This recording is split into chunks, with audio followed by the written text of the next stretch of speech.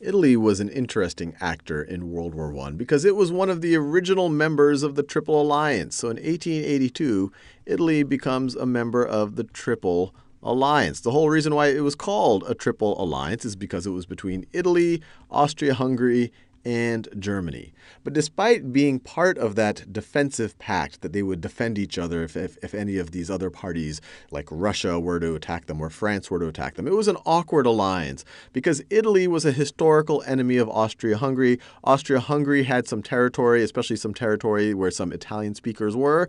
Some Italian nationalists were interested in recapturing or, or having claims on some of that territory. I've circled some of that right over here. So, right from the get go, it was an awkward alliance. And even in that first triple alliance, Italy got an exception for this defensive alliance. It says we don't want to be at war with Great Britain. Then in 1902, Italy gets into another secret, or I guess this is the first of many secret deals with France. And so, if you've ever played diplomacy, this is what diplomacy is all about. You make a deal with one person, but maybe in secret you're making exceptions with other people. They get into a secret pact, secret pact with France where Italy is essentially saying, look, you know, even though we're a member of this triple alliance, and we've already said that we're not going to uh, be at war with Great Britain, we're also going to say that for France as well. We're, we're, we're really not in a mood to be at war with you. So then when you fast forward to 1914, and we're now at the beginning of World War I. August, Germany declares, you know, July, Austria Hungary declares war on Serbia. Russia begins to mobilize. Germany declares war on Russia and on France. Italy, because of this kind of awkwardness in its triple alliance, actually decides to stay neutral. So Italy stays neutral. And their justification for staying neutral is that the Triple Alliance is a defensive pact. It says, hey, we're going to defend each other if anyone attacks us.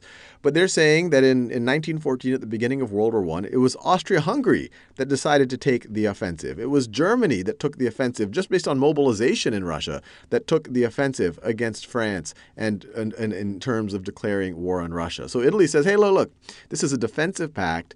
The, tri- the other two members of the Triple Alliance, they're being, they're being offensive. We don't want that means that we are we aren't bound to it. We're only bound to it in the event of defense. But you could imagine a lot of it was them just trying to figure out who's likely to win this, in which scenario are they likely to gain the most. So you fast forward to 1915, in particular April 26th. April 26th.